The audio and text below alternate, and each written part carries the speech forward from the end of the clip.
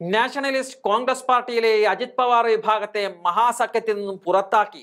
നിയമസഭാ തെരഞ്ഞെടുപ്പിൽ മത്സരിക്കാൻ ബി ജെ പിയും ശിവസേനയെ ഷിൻഡെ ഗ്രൂപ്പും ബോധപൂർവമായ ശ്രമങ്ങൾ നടത്തുന്നതായിട്ടുള്ള സൂചനകൾ ചില മാധ്യമങ്ങൾ പങ്കുവെക്കുന്നുണ്ട്.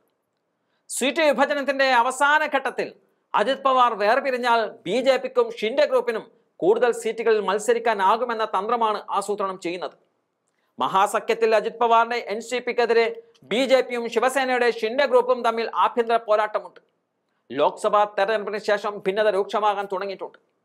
കോൺഗ്രസ് നേതാവായ Rahul ഗാന്ധിക്കെതിരെ Shinde group M L A Sanjay ഗെയ്ക്വാദും B J P Rajya Sabha M P Anil ബോണ്ടയും നടത്തിയ ആക്ഷേപകരമായ പ്രസ്താവനകളിൽ അജിത് പവാർ കടുത്ത അതൃപ്തി രേഖപ്പെടുത്തിയത് അതിന്റെ ഉദാഹരണമാണ്. അജിത് പവാറും Sunil തക്കരയും B J P M L A Nitesh Rane മുസ്ലിങ്ങളെ കുറിച്ച് അടുത്തിടെ നടത്തിയ പരാമർശങ്ങളെ പരസ്യമായി എതിർക്കുകയും ഡൽഹിയിലെ ബി ജെ പി നേതൃത്വത്തോട് നേരിട്ട് പരാതിപ്പെടുമെന്ന് മുന്നറിയിപ്പ് നൽകുകയും ചെയ്തിരുന്നു.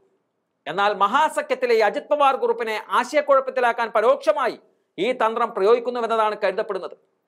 മഹാസഖ്യത്തിൽ തുടർന്നാൽ കുറഞ്ഞ സീറ്റിൽ അജിത് പവാറിന് തിരഞ്ഞെടുപ്പിൽ മത്സരിക്കേണ്ടി വരുമെന്നത് തീർച്ചയാണ്.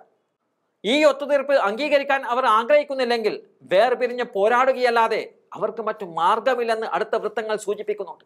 എന്നാൽ സീറ്റ് വിഭജനത്തിലെ നിരാശ ചൂണ്ടിക്കാട്ടി Ajit Pawar N C P മഹാസഖ്യം വിടുമെന്നതാണ് പ്രവചനങ്ങൾ. മഹാസഖ്യത്തിൽ നിന്നുള്ള അജിത് പവാറിന്റെ പുറത്താകൽ ബി ജെ പിയുടെയും ഷിൻഡെ ഗ്രൂപ്പിന്റെയും തലയിലിടാനാണ് അജിത് പവാർ ഗ്രൂപ്പ് തയ്യാറാവുന്നത്. മഹാസഖ്യം വിട്ടാൽ അജിത് പവാർ ഗ്രൂപ്പിന് ഏതാണ്ട് അറുപത് സീറ്റുകളിൽ സ്ഥാനാർത്ഥികളെ നിർത്താൻ സാധിക്കും. ചില സീറ്റുകളിൽ മഹാവികാസ് അഗാഡി അജിത് പവാർ ഗ്രൂപ്പ് അതുപോലെ ബി ജെ പി ഷിൻഡെ ഗ്രൂപ്പും തമ്മിൽ ത്രികോണ മത്സരം ഉണ്ടായേക്കാനും സാധ്യതയുണ്ട്. നിലവിൽ അജിത് പവാറിന്റെ ഗ്രൂപ്പിന് നാൽപ്പതോളം എം എൽ എമാരുണ്ട് വരുന്ന നിയമസഭാ തെരഞ്ഞെടുപ്പിൽ പത്ത് പതിനഞ്ച് എം എൽ എമാർ വിജയിച്ചാലും അജിത് പവാറിന്റെ പ്രാധാന്യം ചിലപ്പോൾ വർദ്ധിച്ചേക്കാം. അതിനാൽ തെരഞ്ഞെടുപ്പിന് ശേഷം രാഷ്ട്രീയ ശക്തി വർദ്ധിക്കാനുള്ള സാധ്യത കണക്കിലെടുത്ത് അവസാന ആശ്രയം എന്ന നിലയിൽ നിയമസഭാ തെരഞ്ഞെടുപ്പിൽ സ്വതന്ത്രനായി മത്സരിക്കാൻ അജിത് പവാർ തീരുമാനിച്ചേക്കുമെന്നതാണ് ചില ദേശീയ മാധ്യമങ്ങൾ റിപ്പോർട്ട് ചെയ്യുന്നത്.